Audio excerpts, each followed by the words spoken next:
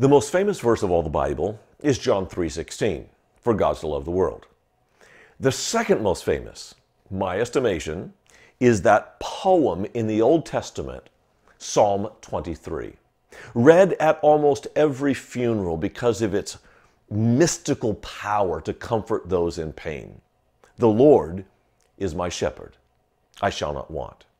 He makes me lie down in green pastures. He leads me beside still waters. He restores my soul. It's, it's powerful, but not just because it's comforting. This is one of the most instructive leadership lessons of all the Bible. You see, the metaphor for shepherd runs from literally the beginning of Genesis to the end in Revelation. Do you remember who the very first shepherd was? Adam and Eve had these sons, Cain and Abel. Cain killed Abel because Abel was a shepherd and thus able to offer to God a sacrifice that God loved. Abel wasn't the only shepherd of Israel. The father of the nation, Abraham, also the father of Christianity, of course, he was by trade a shepherd. The rescuer of the nation, the lawgiver Moses, before he ever led the people out of Egypt, he led sheep in the wilderness for 40 years. And, and, and on it goes. The, the people of Israel looked to their leaders who had literally been shepherds. Think about King David, shepherd.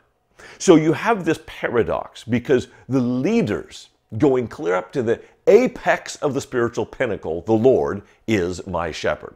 They're all respected as shepherds. But in reality, shepherds were not respected because partly they were dirty. They lived with sheep outdoors all day, all night. They didn't smell so well. Uh, but also, these guys were ritually unclean because they had to sh- uh, slaughter the sheep and give birth to the sheep. It rendered them religiously, according to Jewish law, unclean. And so you've got this paradox where the literal shepherds were despised. Think back to when uh, Jacob took his 12 sons, emigrated to Egypt because of the famine. Their brother Joseph said, don't, don't, don't live among the Egyptians. Ask Pharaoh to put you in the land of Goshen, out and away, because shepherds are not so well liked. That becomes this strange paradox. Loved spiritually, despised literally.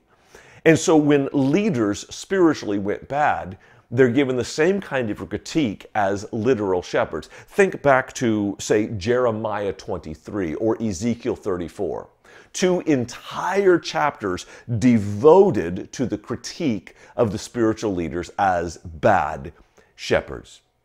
So, is it any wonder that we need a Messiah to correct the failings of past leaders? And when that Messiah comes, part of the way he described himself, this is John 10, Jesus says, I am the good shepherd.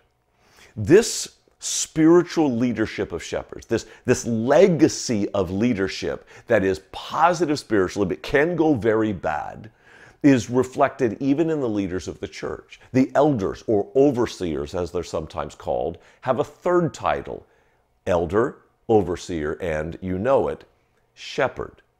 It is the job of the shepherd, from which we get the title pastor, by the way, to take good care of the sheep. So, what does it take to take good care of the sheep? If you want to be a leader, whether spiritually or in a business, secular leadership, the biblical model of leadership will provide you three insights into what your true role is. Number one, a shepherd leads. Uh, when when the sheep look for pastures, a funny thing about sheep, they will eat grass down to the root and destroy an entire area. If they aren't moved, they will destroy their own environment. Sound familiar? So, the whole purpose of leadership is to move people from one place to another, to a green pasture. But no place you lead them is a place that they can settle and stay permanently. We have to move people from where they are to a desired future. That's Leadership 101. The second thing that a leader does is he has to protect the flock from outside enemies. There are uh, lions that love to eat sheep. There are uh, coyotes and wolves that love to eat sheep. And so, what the shepherd has to do is literally lay down his life. When Jesus said, I am the door to the sheep, sheep pens in ancient Israel, there were no doors, there were literally just openings. And you brought the sheep in, and they were behind these walls. You know where the shepherd slept? In the doorway. And he's saying, if you want to take my sheep, it is over my dead body.